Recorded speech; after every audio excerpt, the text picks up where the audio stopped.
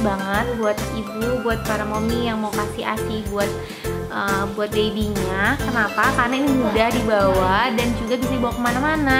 Selain uh, juga buat asinya kalau berlebih, yang satunya buat dipompa. Nah ini bisa buat uh, buat payudara yang sebelahnya. Jadi bisa kumpulin asinya sebanyak-banyaknya enak banget dipakainya karena aku udah coba dari dulu waktu pertama kali lahiran aku selalu pakai bed ini karena aku lebih pak, e, lebih enak pakai yang manual daripada pakai yang elektrik. Nah teman-teman mau imong silikon yang terbaru ini bisa ditempel langsung di meja dan ada penyangga jadi nggak gampang mudah tumpah asinya.